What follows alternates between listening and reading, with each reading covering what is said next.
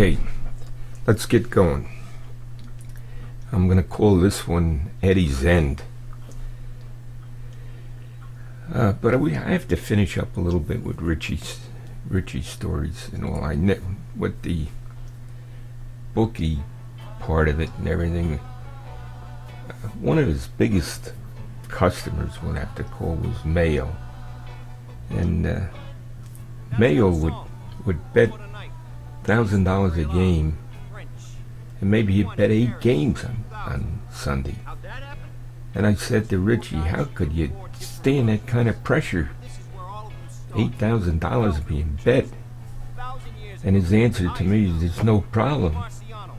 All I want to do is break even, win four and lose four. If I do that, four and four, I'm up 400 with the VIG, where Mayo has to pay that 10% extra on the ones that he lost. I'm up 400, so that was the answer.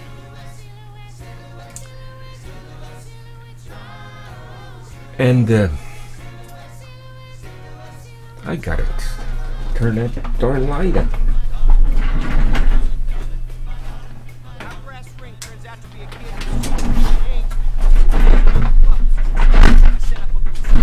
Now you'd say, why my concern about the light? I need it for the green screen. It don't. You didn't see the difference here, but it, for the green screen, I, I need it. The other one to finish up is the. Remember that addition problem video that I did? Well, it was Richie that got in a problem with that. I told, showed him to him, and he he used it on a guy in a bar, and the guy added it up, he come to 5,000. And the answer is 4,100. And it, Richie laughed. Everybody in the bar laughed. And the guy kept insisting that it's 5,000. And Richie's laughing and everybody's laughing and the guy's getting madder and madder.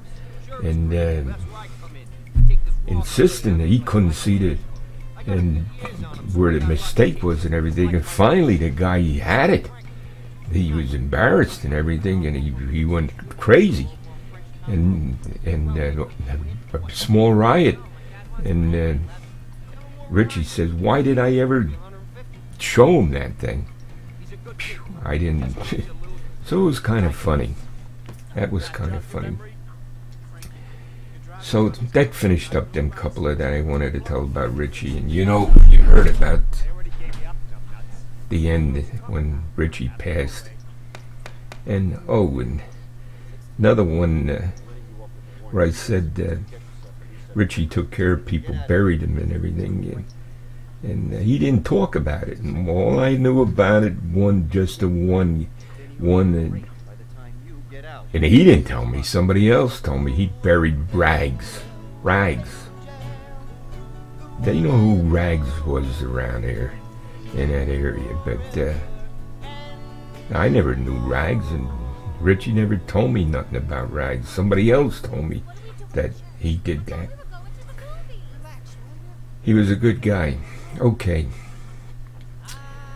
Eddie. Eddie, just a couple of stories and then we'll lead up to the end. We'd go fishing out in. I didn't have a big boat. We'd go to the mud hole. Eddie would encourage me to do all kind of things, just like with that with that truck to Nova Scotia. So we go to the mud hole with a smaller boat and all, and we had trouble with the boat. It was a good day by luck. It was a good day, and, and uh, we had the big tuna on and everything. And one guy with us had a reel that big, and we had little reels. And when when he did dove to the bottom of this monster tuna and everything, uh, then we said uh, we have no confidence. It finally it broke off, and he had a reel that big. I our thinking was we have no confidence in our equipment. After that, you know, and guys staggered around all day long. Couple different guys fighting the fish and all. Then we had trouble with the boat, and Eddie slept a lot. He would do that, and all. He he didn't care. He'd swim back, swim back. I can't swim at all. He's gonna swim back, and he meant it. He must he was a long distance swimmer or something. He told me, and I didn't know what to believe. What Eddie, you had to believe though. Uh, with his goings on and all. He says one time he was swimming around Perth Amboy and a guy came to rescue him and he said, no, he don't want to ride. He's just swimming. I don't know. Eddie was a character, boy. Gee. And smart. He taught at the school, taught the, uh, the young guys learning the trades. He taught at the school. He ran the jobs. Whew. Pedal to the metal with everything he, he was something. Another thing, another thing was uh, he would go in the woods and take a six pack with him, drink the six pack, fall asleep, and not come out. And he did that a lot. He did it with me. He did it with others. So uh, I, I remember New York State, Ellenville, New York. We used to go over there and uh, dark at six o'clock or five o'clock or whatever. Here it's seven, eight. Where is he? He's sleeping. And then come out, wake up, come out in the dark, two or three hours later. He did that regularly. He did it here by my at my house here. He did it to me in in, in uh, Ellenville, New York. He did it a lot. Now, when we went to Nova Scotia, and when I come back, I had all this work in front of me. I built the house, this the house that we live in, and all that digging and everything. And I had a tremendous amount of work ahead of me, and uh, I had to do it. And, and then the family, we all pitched in and we worked. So Eddie was going out west. He graduated from deer to elk and moose and all. No, I guess elk. Elk was the biggest thing, I suppose. And some other big animal, I don't know. But he'd have pictures and he begged me to come on out west with him. And I had too much work to do. I couldn't go out west. So, uh, and he he went on in, in the hunting life and killed all kind of big animals and all. But getting back to falling asleep in the woods and everything, he did that quite a bit, quite a bit, quite often. So the culmination of this, of this story is, uh, well, I, I'll tell you the last, last, very end part of it. I'm in the sportsman center, and there's a guy standing. My, I'm with my wife, and the guy's standing there, and I thought he worked for the sportsman center, but this guy I knew, and but I didn't recognize him. Time had gone by. We've been separated. I'm at CW, and they're going on with their life. They're hunting out west. They're hunting here and there, New York State back, and all that sort of stuff. And uh, so I'm in a sportsman center, and this guy's standing here, and I think he's a worker. And he don't realize that I don't recognize him. And finally, I look, oh, Joe. It's Joe, another mutual friend. Not that close, but a mutual friend.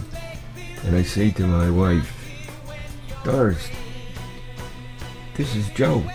He was with Eddie the night that Eddie died. And now, and Joe, we greeted each other and everything. We didn't even hardly talk too much about that night, so I don't even know the details. Almost seemed improper, like, and everything, but uh, what happened is Joe and Eddie went to New York State. I don't know if it was for the day or the weekend or or what. hunting. And uh, they went in and hunted for the evening. And uh, Joe come out. He's sitting in a truck waiting for Eddie, waiting for Eddie. Oh no, we I mean past the time, it's dark, pitch dark and everything. No Eddie. Joe's figuring that's he's fell asleep. He drank beer or something, and he, and he just didn't come out. And uh, he waited, waited, and looking at his watch and everything. God Almighty, where in the world is he? He's not coming out, not coming out. And then it reaches the the crazy time where this is this is a, because you just don't go off into the woods and, and everything. It's, it's, it's a job in the dark and everything. And uh, finally, Joe says, I gotta go in here and see what's going on. And Joe starts on his journey into the woods trying to see if he can find Eddie's tree stand. So as he's walking, there was snow on the ground which made it easier. And as he's walking, he's got one set of tracks in, no set of tracks out. And when he got to the tree, he found Eddie dead in the tree. And the story is, that he was dead in the tree. He wasn't, he didn't fall out on the ground or what. He was dead in the tree. And uh, that was the end. That was the end of Eddie. That's the way Eddie died. He lived his life with the pedal to the metal. All the time. All the time. And I kind of was lucky that uh, he was good to me, though he was good to me and Richie and, and others. He had a lot of good, lot of good things about him. But he was on a wild side. He was on a wild side. And uh, may God have mercy on his soul. May he rest in peace. That's what they say, right? Rest in peace. Rest in peace, Eddie. Rest in peace, Rich. And that was the story of, of really two of my best friends and buddies in in my that during my working life, like you know, and I separated from them, went to CW and they went on doing what they were doing and, and trying to earn a living and, and living their lives. We run into different paths at times, and sometimes that path takes you in another direction, and you'd have to say that that's what happened to me. I was going along, this was the path. And somewheres along the line, I come to a Y in a road.